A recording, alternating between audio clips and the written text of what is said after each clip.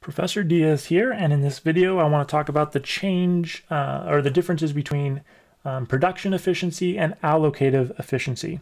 So when I teach this class face-to-face, -face, I always ask the class, where on this line is the most productive place to operate?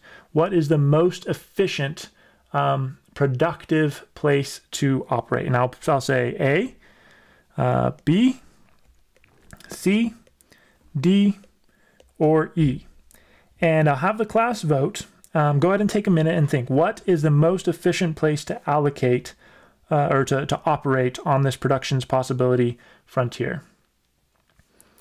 And I have the class vote, and almost invariably, everybody says C. C is the most efficient place to operate because uh, at C, you get three oranges and you get three uh, apples or cherries or whatever we're saying these are. Um, you get three of the orange fruit and three of the red fruit, right? And so you get six total fruit, which seems pretty efficient, right? Um, and if you want to produce one more apple or cherry, whatever that is, you have to lose three of the orange fruit. And so most people will just say C is the most efficient point on the curve, um, the most production. This is not the case. This is not true. Okay, not true.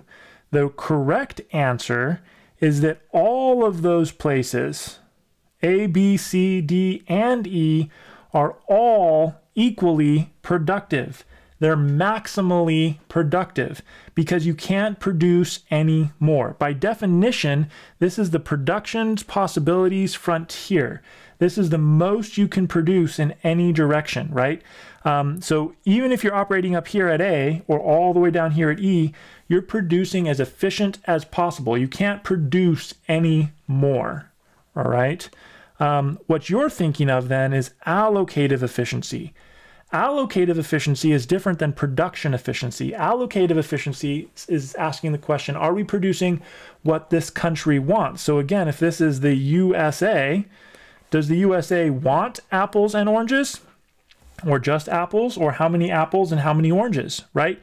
If there's not a large demand for, for apples, then maybe we want to produce down here at E, right? Or maybe we don't want oranges. Maybe we want to produce up here then. Or maybe we want mostly apples, but not a lot of oranges. But as long as we're producing somewhere on this line, we're at maximum production efficiency, but not necessarily at maximum allocative efficiency, right?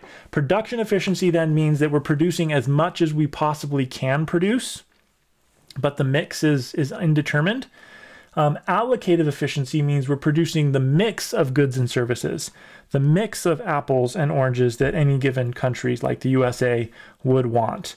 Okay, so if we're producing here, then we're not at production efficiency because we can move out to the line in some way, and then we would be at production efficiency. Um, but as long as we're on the line, we're at production efficiency but we may or may not be at allocative efficiency. There's no way of knowing without knowing what mix of goods and services that particular country would want. In the next video, I'm going to talk about um, changes in the production possibilities frontier.